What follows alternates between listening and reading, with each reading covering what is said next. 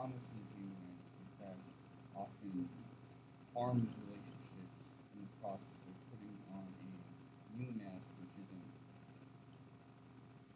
productive to what you want. But even deeper than that, we've gone past that on the internet, but we're still in a phase known as Chad. We often do this virgin versus Chad which funny, but it's clear that we're still idealizing and deifying Chad, which many of you who watch Phase Zero know that this Phase writer once said that a king is supposed to represent the extremes of both good and evil.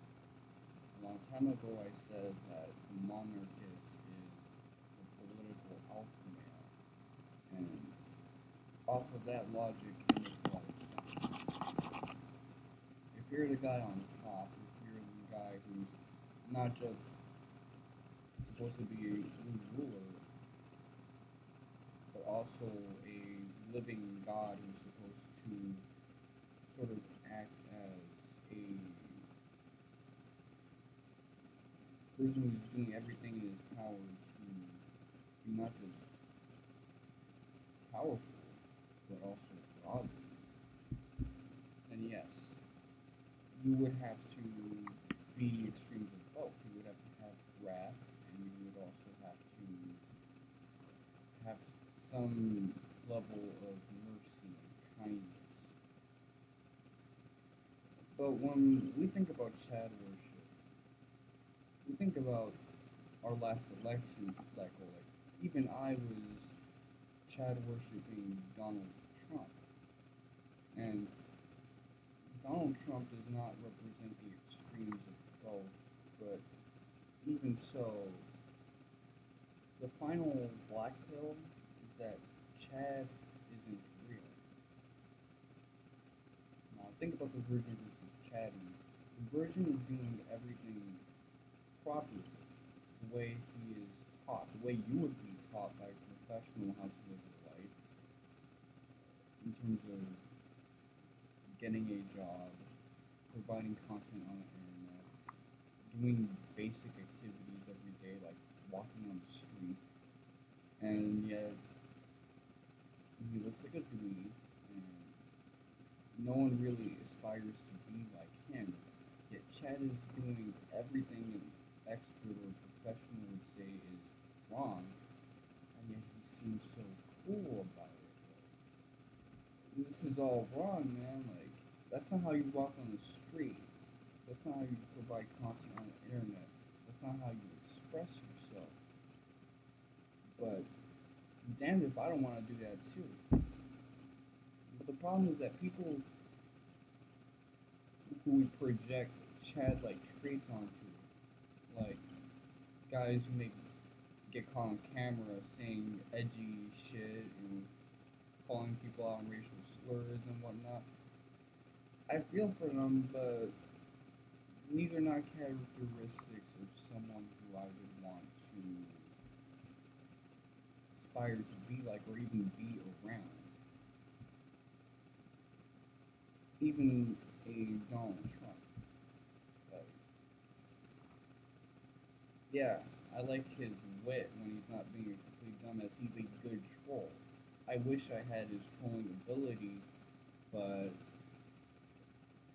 you know, if you don't use it, you lose it. However, as a leader, I've mentioned all types of criticisms with his inadequacies. And I do not believe that he represents the best of both, nor do I believe that he should aspire to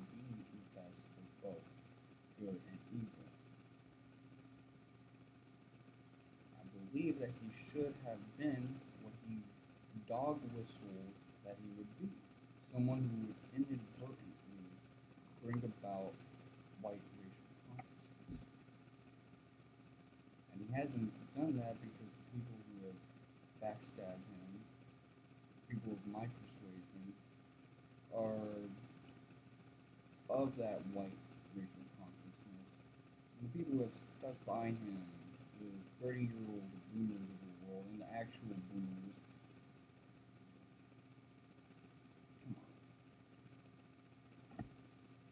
And really, it doesn't just apply to him, it applies to anybody.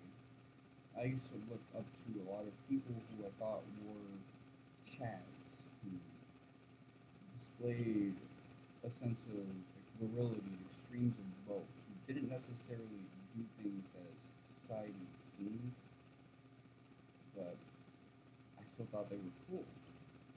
And a lot of men alt-right tend to criticize women who do this because you know, some, it's their maternal instincts that kick in when they become hypergamous, when they chase after chads of the world. But men in the alt-right do this a lot too. In fact, they do this a lot more. And it's not just men in alt-right, but it's also men who want to fit in and be a part of the bros because they're tired of being spurred to dwell in their basement of the college campus and doing nothing, not really experiencing that normal social life that everyone should have a little bit of, at least for the memory banks of their life. But when you worship the Chad or the Alpha these terms are not mutually inclusive, but you get what I mean. Chad is more like a good looking guy, and whatnot. The point is, if you do that, if you dick ride this guy, you're not really dick riding an actual Chad. This person has a lot of BS that they're going through in life. They're a lot of times bigger losers than you, but you're still writing their D because you think the way they go against societal norms is badass. And yes, I can understand why a lot of people think going against societal norms is badass. We're doing it all the time. Just by believing in what we believe in. But sometimes societal norms is not being too loud, being trustworthy, being clean, being polite, and expressing yourself in a way that people will understand you. And if not doing any of these things is cool to you, then your desire to chase for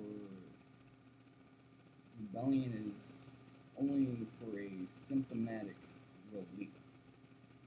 You're not actually chasing for a type of person or influence who will guide you to improving yourself on a causal level.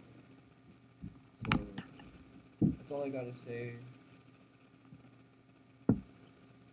Um, try to be a little more influenced by aesthetic people, or people who are more stoic. Try to model yourself after the better versions of the world, not the fake insults and BS stories on that insult subreddit, which none of you are really that bad. And try to make a better family been Mr. 7.